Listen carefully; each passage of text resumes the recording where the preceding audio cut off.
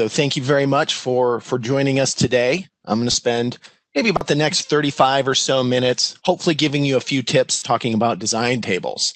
Um, but before I do that, I do want to give credit where it's due. Uh, Nate Marsh put this presentation together a few years ago. Let me share it, or he shared it with me. Uh, let me add my own little, little spin, my own little take to it. So with all of that said and done, let's go ahead and jump into things here real quick. So I'm going to primarily discuss uh, part level design tables today, but I want to also add that what I'm going through is very much applicable to assembly level design tables. So you'll see examples focusing around the parts, but uh, it is pretty general here. So I'll start with the basics, a little bit of review, just touch on the backgrounds of, of part level configurations.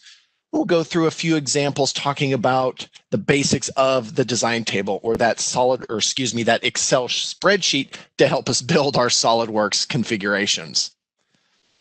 Talk about a few things to help us plan a design table. I think of design tables as kind of dipping our toe into automation and in order to have a nice situation, we need to have a few things taken care of. So we definitely want to have a plan when we get into this.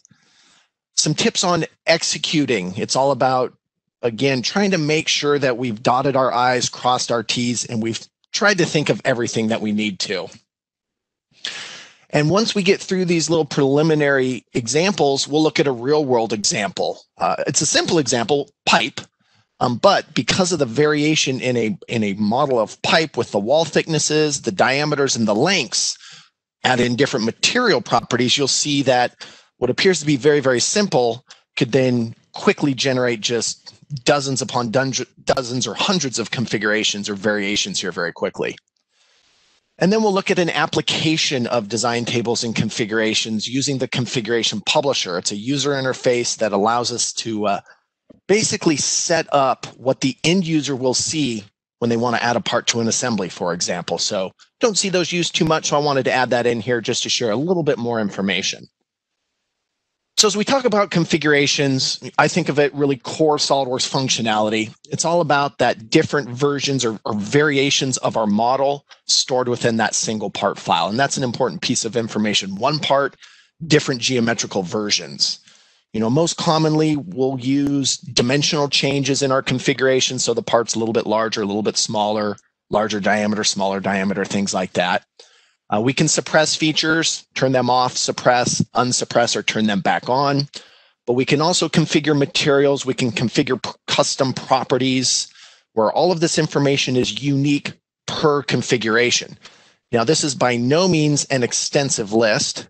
Uh, I'll show a picture of the help file here in a little bit where there's dozens of parameters that we can control in our configurations and ultimately in our Excel-based design tables. So we'll jump into SOLIDWORKS here real quick. And as I mentioned, I am using a very, very simple part. My little tube, my pipe with a hole in it. So two features, a boss, and a cut. Simple example, but it does convey the ideas and a few things to think about when working with design tables. So here we have our configurations as I cycle through them in the configuration manager, simply toggling that feature on or off or suppress and unsuppress. So we have the hole, we don't have the hole in a couple of different sizes. So nothing, uh, nothing groundbreaking with that model, that's for sure. And what we're going to do is we're going to use that very simple example to help us build a family of similar parts and ultimately similar assemblies. The good old hex bolt there, perfect example of a SolidWorks part or really any part that's configurable or that we would want to apply a design table to. Similar shapes, simply different diameters, different lengths, different sizes on the hex head itself.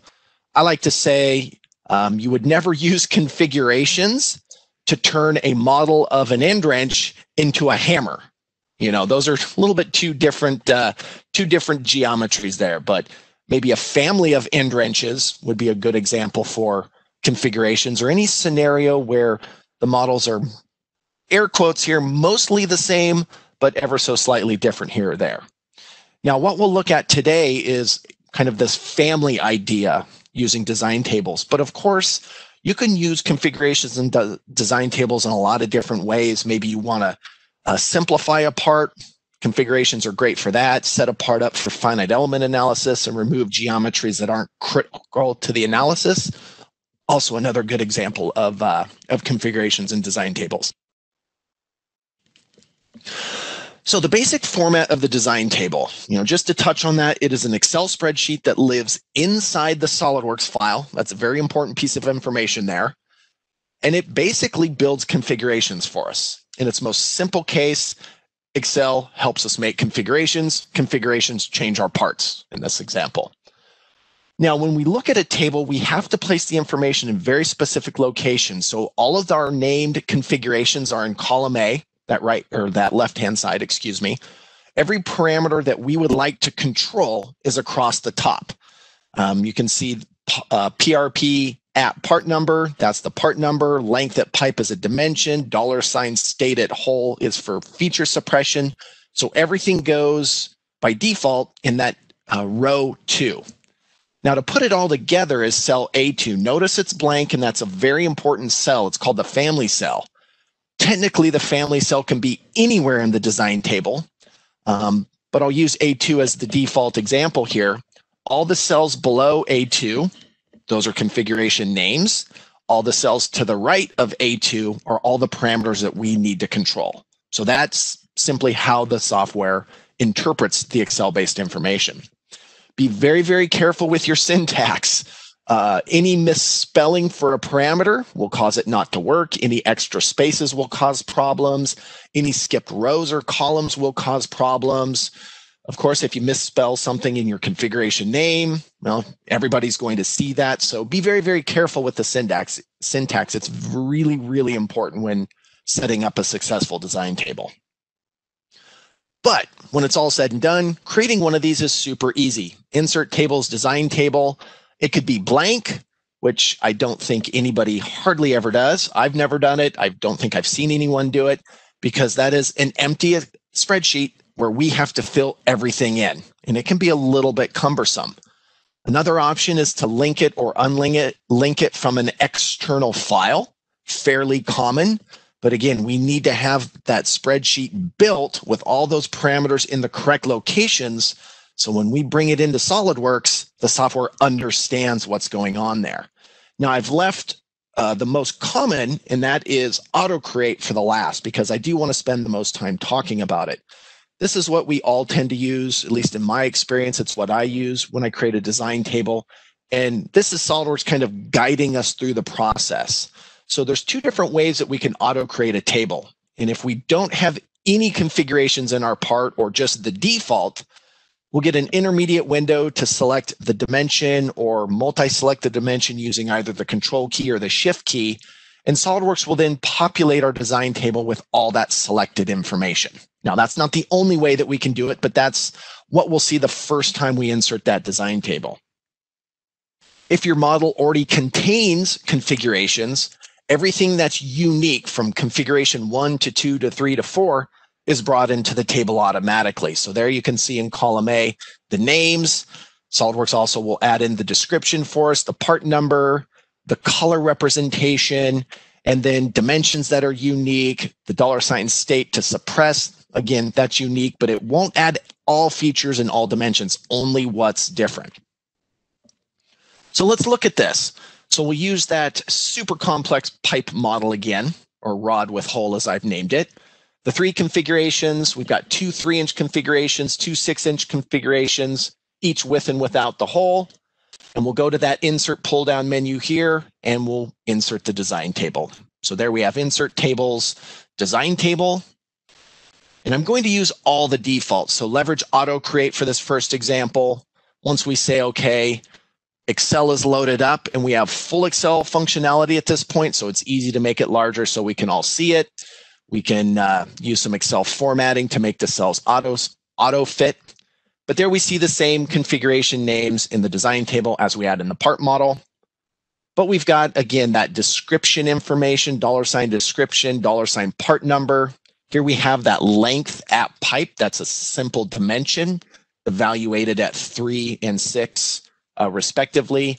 And that final column, column F, dollar sign state at hole we can see feature suppression there. So SOLIDWORKS automatically formats the table and puts this information for us, that little drop down. Uh, it is pretty easy to simply type in an S for suppressed to shut that feature off or a U for unsuppressed to turn it back on. But if you like to use the drop down tables, they're kind of neat. SOLIDWORKS puts them in there for us and they're, they're pretty easy to work with. You can type all the text in. You can use ones and zeros as you can see there on screen. So you do have quite a bit of flexibility. When you're done editing, click into SOLIDWORKS, which we tend to do accidentally, at least I do. And now all of our configuration icons have little Excel symbols next to them. So now the design table is driving everything in this particular part. So very easy to add them in there. Typically, we'll need to add more information to our design table. So once it's edit, how, or excuse me, once it's inserted, how do we edit? Like everything in SolidWorks, we just right click. So right click edit table, that'll get us into modifying the spreadsheet inside the SolidWorks UI, just like you saw a moment of a moment ago. Um, understand that we have no SolidWorks functionality at this point. Our ribbon, our command manager, our pull down menus, everything is replaced with Microsoft Excel. Now, if that's not how you prefer to use the environment, you can edit in a new window. And this is great for multiple monitors. Doesn't work that well for a presentation. Um, but then you'll have SolidWorks on one screen, Excel on a separate screen, and you can work side by side. One thing to mention about editing in that separate window is the Excel spreadsheet still exists inside the SolidWorks model. It's just being opened up uh, in a separate Excel instance. And you really don't need to save the spreadsheet, just X out of it, close out of it. The file will get auto saved and essentially reabsorbed back into the uh, back into the SolidWorks part. Now, to add additional information, things like features or dimensions, anything that we need to, it's all about selecting the appropriate cell. So that next cell in row two and double click. Double click to add a dimension if you can see it. Double click in the tree to add that feature to control feature suppression state. And simply type in a new row and start filling in the data to generate new configurations. So let's walk through this very quickly. Now, there's a few things that I want to mention when editing a design table and adding extra information to it. So as we just update all the configurations here, we'll right click and edit that table. And we'll see it jump up right inside of SOLIDWORKS. And the first thing I'm going to do is intentionally activate a non row two cell. So in this case, I'm going to focus on cell E8. The reason I'm doing this is when I go to the feature manager tree and I double click on a feature, I don't want it to be automatically added in because I don't want to control the suppression state of that feature. I'm using double click to simply show the dimensions. So I'm selecting a non row two cell. That's a mouthful. We'll jump into the feature manager tree, double click on the feature so I can simply show the dimensions. And now I'm intentionally selecting cell G2. So that's the next open cell in that, that row two there. Now we'll go into SolidWorks, double click on the dimension itself and the code or the full name for that dimension, pipe diameter at pipe sketch is added to the design table. So very deliberate actions. So I only get the dimension that I want and I don't accidentally get that dollar sign state at pipe to suppress it. So once you're done, click into SolidWorks, makes the change, and we can cycle through them. So it is fairly easy to do as long as you're careful, at least in my experience. Just be slow, be deliberate. Uh, something I'll talk about here in just a moment. I want to point out the color of those dimensions. Notice they are pink. That's a, a long, long old setting inside of SolidWorks that any dimension that's controlled via a design table gets that bright pink color. Of course, you can change it. But this message just lets me know that I accidentally am trying to change it. And that dimension is controlled in the design table and it will be updated in the design table if I make that change. So we'll talk about what that happens or what that means here in this example. So those options that you can see when you're editing the design table feature, not editing the table itself. Here we can see it's the edit controller, what I like to refer to as a bidirectional design table versus a unidirectional design table. So I created my table with the allow model edits to update the design table. So any dimension I change, I'll get the message and it populates that appropriate cell in the design table. I do say if you're going to use this kind of bidirectional behavior, that warning, while it may be a little bit annoying, it is important so you don't accidentally change a dimension without understanding the, the possible you know, repercussions of, of updating that design table parameter. So there you can see warn when updating the design table. So either we allow it or we block it, one or the other. Thankfully, you can change it as many times as you need to. So back over into SolidWorks, we'll open that part up. I guess it was silly for me to close it there.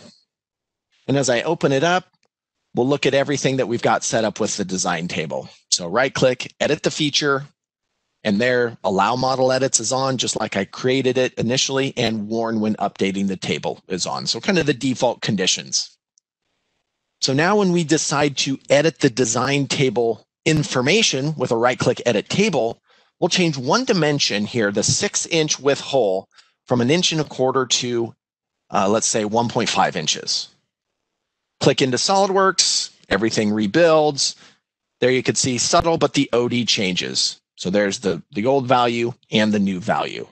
Double click the part, double click the dimension. We get that message. It will pop up every time. Uh, and I recommend do not select the do not show this message again. Just keep this up, get used to saying okay to it because it will pop up several times. You select the dimension, double click there, it pops up again. Yes, I do need to say okay another time. And now I can type the value in. So it just keeps, you know, keeps you honest, if you will. So we'll switch that back to an inch and a quarter, accept that value, rebuild the part, and we'll jump back into the design table. So very simple example, but once we edit the table, notice the dimension is still 1.5 and then it flips over. So it just takes a second to uh, update the information in the table from the dimensional change. Now, if we change it over and block those edits, well, we simply can't change those dimensions. Once we do that, we'll get a message telling us that that dimension is, is locked or associated to a field that is locked. There you can see it there. If you really needed to change it, of course, you could flip that switch, turn on the allow model edits and make your dimensional changes. So uh, there's no limitation there. It's just something that you need to be aware of, lock it and unlock it, or I should say allow and block those changes. So we've gone through some very kind of basic scenarios of, of setting the design table up, inserting it, editing, editing it, excuse me, things like that. But what about the part model itself? They really do have to work hand in hand. I like to say create a, a configuration friendly model. That requires robust design intent. As I mentioned at the beginning, to really simplify everything, the design table, it doesn't do anything more than build configurations and configurations really don't do anything more than in our case change dimensional values and suppress and unsuppress features. So it really just changes the part model. That part model needs to handle those changes.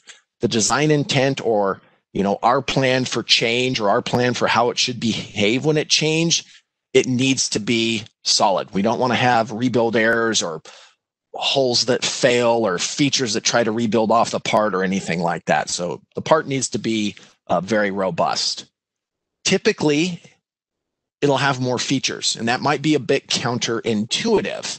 Uh, but if we look at this example, just a, a revolved hub or revolved geometry to create a hub, I've built everything in a single sketch. Super common, very, very efficient, but not overly flexible for configurations.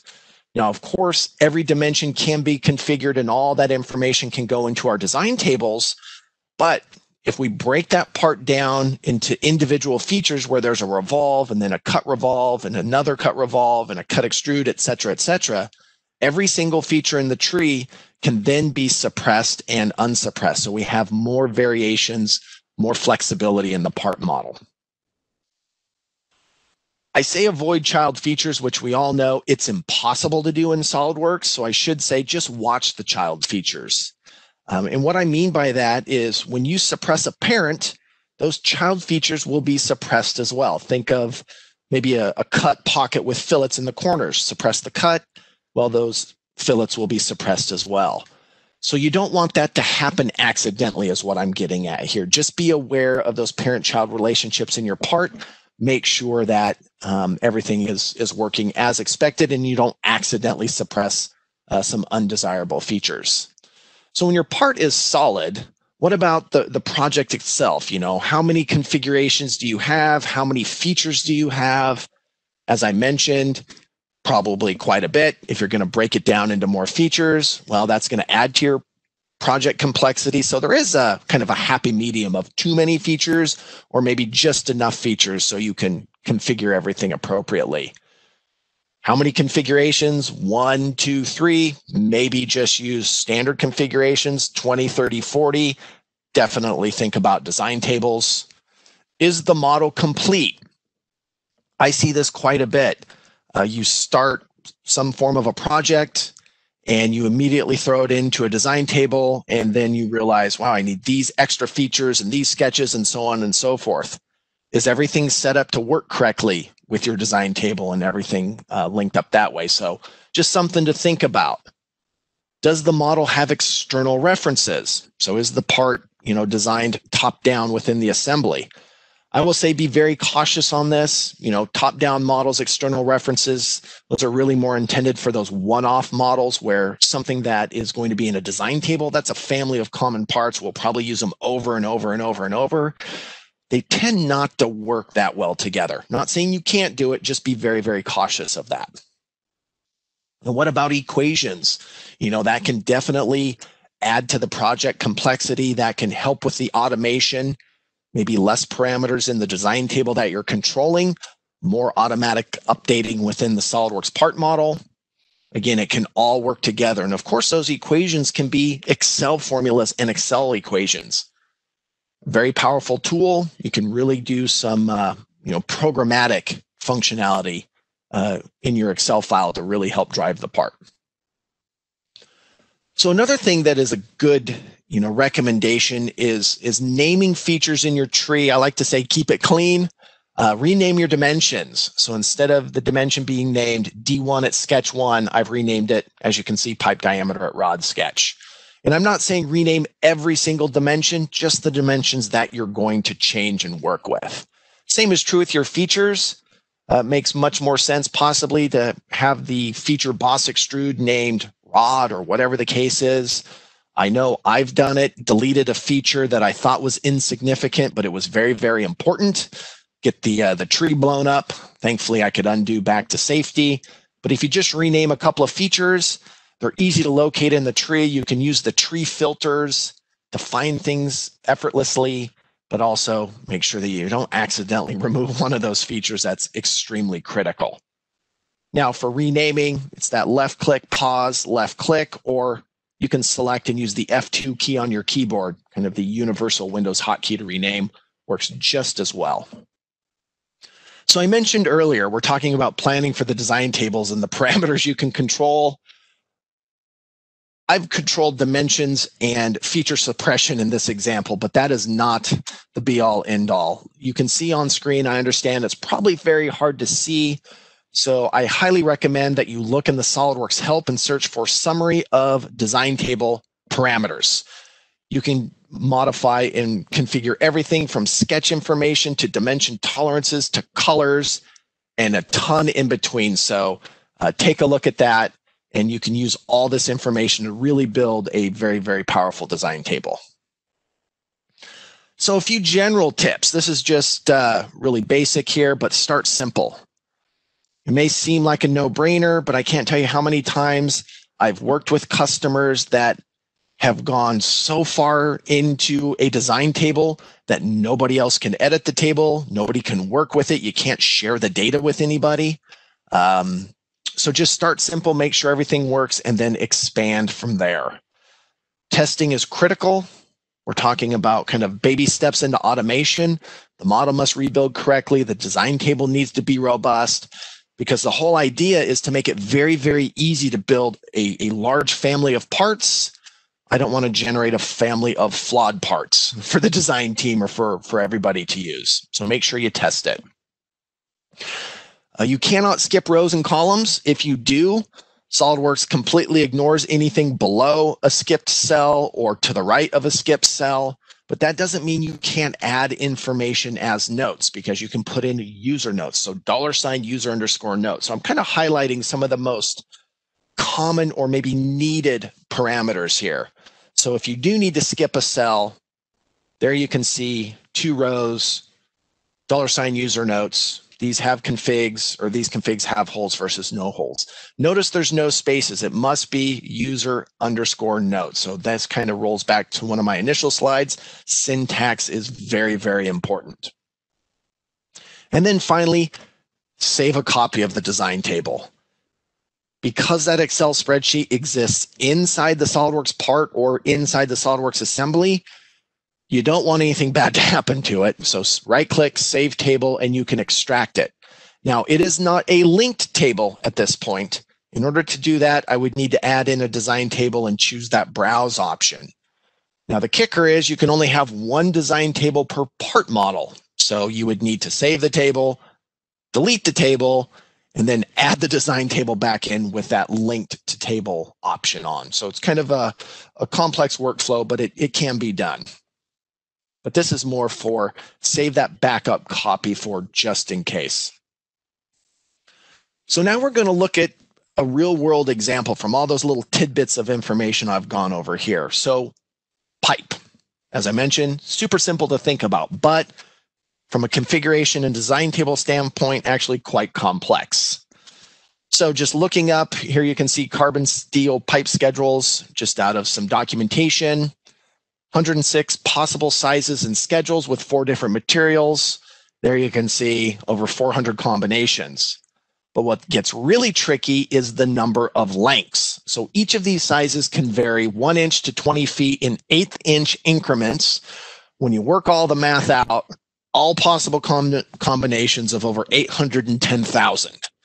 I would never recommend that you create a design table with 810,000 configurations in there. That would be a bit cumbersome. And in all honesty, this isn't 100% realistic because you would never have a pipe that's, you know, 24 inches in diameter that's an inch long. So yes, there are some uh, some configurations that don't make sense, but you can see how quickly something that seems very simple could be hundreds and hundreds of possible configurations and why using a design table is beneficial for that. Now, in our example, we will also look at a pipe, but I am not going to make you sit here while I make 810,000 configurations. I'll build, I think, 20 of them. So to help facilitate this in the Excel spreadsheet, leverage some formulas to auto increment that eighth inch value. Some drop down boxes help us um, make sure that we have the appropriate schedules and we can link everything together. But what's really helpful is the concatenate formula. One of the most time consuming aspects of building a design table in my experience is creating every single configuration name. And even if it's quick and you can copy and paste it, they all must be unique. So you need to change uh, parameters here and there. And it's also quite error prone. So leveraging concatenations can really speed up creating all those configuration names. Of course, what other Excel tools, other formulas, conditional formatting? I mean, you have the power of Excel at your fingertips, so you could really use anything that helps you out. So here's the, uh, the Excel spreadsheet. This is a separate file that we'll read in. And as we take a look at this, you can see, I'll highlight the length field here. That's the first keyed in value, one inch, and then a formula. So E3 plus 0.125. And because it's Excel, you can copy and paste all that and it auto increments the cell and just continues to take the next cell plus an eighth of an inch. So really, really easy to generate all the lengths in this example. The schedules, they all need to be the same. So all those values can be linked up. Here we have a drop-down list we've created, switch them all to, to schedule 40. They all change and to the right, that's the data that the drop-down list is picking up. But what's really neat, as I mentioned earlier, that concatenate formula. So we've got some text of pipe and schedule and then linking to various cells. Because we've got the schedule linked, we change the schedule. It changes everything automatically in our name. And again, we can just copy and paste that information and change the one cell in the length field that's unique. So this one is linked to two and a half inches versus one inch. So it really speeds the process up. Not uh, overly difficult. It can just be time consuming to generate dozens and dozens and dozens of configurations. And I guess I guess I made a mistake. I'm only building a total of 17 configurations, not 20 here. But now as we jump into SolidWorks, we'll open up our little pipe model. Same thing, an extrusion with a bevel and some sketch information. I just pulled this out of the routing library. One default configuration. We'll go to Tables Design Table.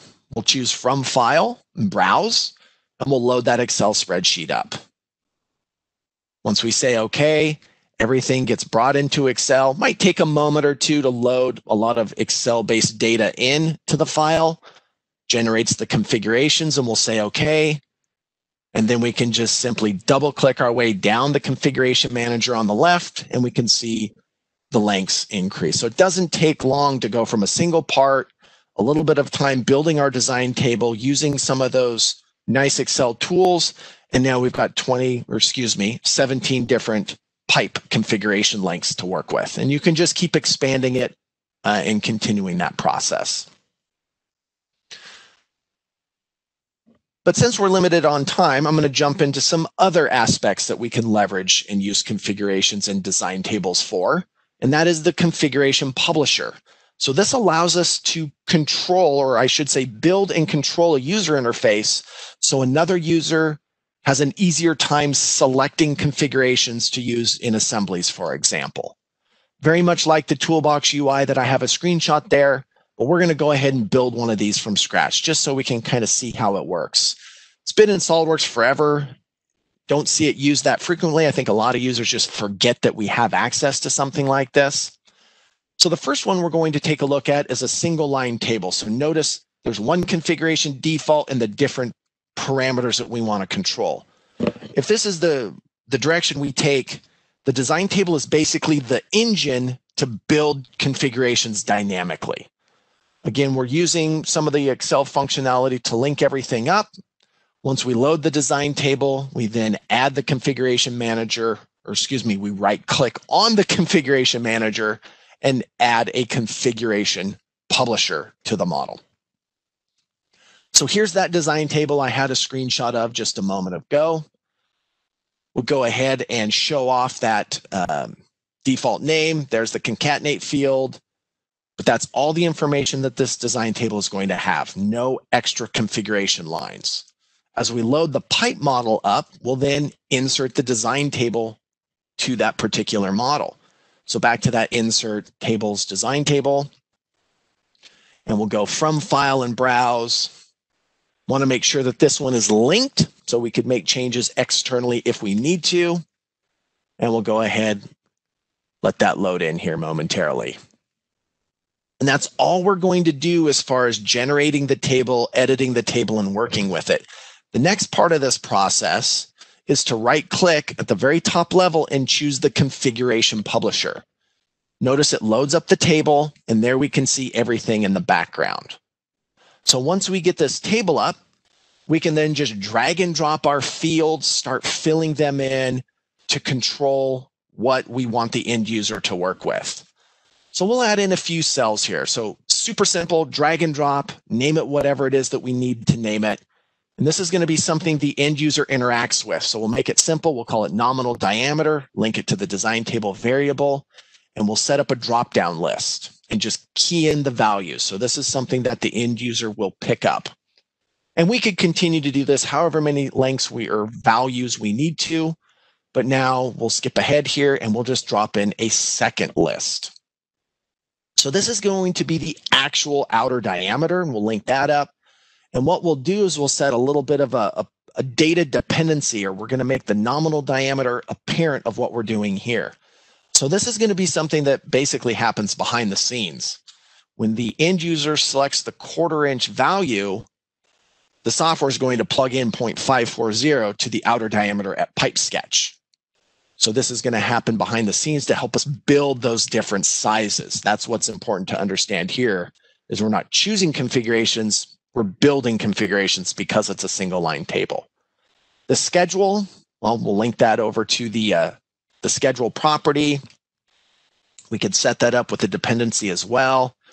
And for, uh, you know, each, each size, each value, we'll just set this first example up to be schedule 40, but we could have our line items, you know, schedule 20, 40, et cetera, et cetera, whatever it is that we need. So it's just a matter of repeating this process to get the table completed. Now, through the, the magic of presentations, we can jump through a little bit uh, and see that I've added in wall thickness, weight per foot, material, so on and so forth. So it's just a matter of kind of repeating this process. So now we'll get back into SolidWorks and we'll look at using all of this together and we'll open up a completed model that has all that uh, property or configuration publisher data within it already. We'll edit the feature of the property manager. That's what it gets called. It'll load up the design table. Uh, don't be surprised if there's a little refresh issue. And then we can go to the SOLIDWORKS preview tab and see how it works. So this is that testing process that I mentioned earlier. The one entry or the one area where we're letting the end user key in a value is the length. So we could specify, you know, different diameters, different schedules, different lengths. But notice there's only one configuration in the property manager. To test it further, we could add it to a sample assembly. Not sure what that's all about, so I'll just say okay and we'll say green checkbox. And on the left is our defined property manager. So this is what it looks like to the end user. Specify the diameter, the schedule, key in a value, say okay. Now SOLIDWORKS is actually building that configuration. So the design table loads up, goes through the calculations, it'll disappear, rebuild the part, new configuration defined. Configure part assembly button. We could redefine everything, go back in and make some changes. So let's go ahead and do that here and let's change a different size, maybe three quarter, different, uh, different schedule size, different length. I think you're starting to get the picture here. It's just a matter of using that design table as the engine to help put everything together. And there's the little bit longer one. Now, when we switch back over to the part, and notice the property manager now or the configuration manager, we have two, three total configurations now. So eventually they do get added to the file, but initially it's just an engine. So the other method is to use the configuration publisher with a complete design table. So everything is done. All the configurations, all the parameters, all the different sizes. It's essentially a nice interface to switch configurations in this case. And I'm not going to go through the example of building it, let's just take a look at uh, using it in action. So this is a different part, a little link with a couple of holes. Notice the configuration manager, all the configurations listed. If we edit the table, again, everything is already done. So we've already done the work. We've figured out all the different sizes the end user could ever need, and we specify it all in there. So that's kind of the two different ways of using this functionality. Now, as we jump back into SOLIDWORKS, we can go over to the configuration manager, edit the feature, loads that table up. Like I mentioned, it does take a second to load everything in there. We're working with a bit of data. There you can see some of that refresh issue I was mentioning. But once we update the model, it usually goes away. Sure enough, it does here. But we can just cycle through and test everything, make sure that it's working exactly as we expect. But on the left, it's really just changing the configurations. It's not building any, anything. We don't have to wait for the software to update it. So now the final, the final test, let's add this to a test assembly. We'll green checkbox OK. We've got the same type of user interface, but there's no data entry in this example. We're just grabbing information from drop-down lists, different lengths, with and without the hole on the right uh, different thicknesses or what I've called the width, or I should rephrase that. The depth is actually the thickness here. But we can get to and redefine that configuration the same way. There's that depth value. So it works similarly. It's a little bit faster because we're not waiting for the software to build it. And from the configuration drop-down list, we can see all those configurations exist and we could get them that way. So a couple different ways to do that. So that about wraps it up here just to touch on on where we've been, focus primarily on on part level design tables and the different things we could do with them. brief review of our configurations, talking about some of the basics and the formatting and the lay of the land and where information must go within a design table. Few topics and, and tips thinking about planning. You don't want to jump into one of these without at least having a basic plan. Some tips on executing. Again, that was starting small, testing, saving that table out, very important there. And then we looked at that pipe example to, to build over 810,000 possible configurations. In our example, we built 17, so a little bit more realistic. And then right at the end there, introducing the configuration publisher, looking at some other functionality that really leverages the, uh, the capabilities of, of design tables. So with that, I will wrap up by saying thank you everyone for your attendance. Thank you very much. I appreciate it.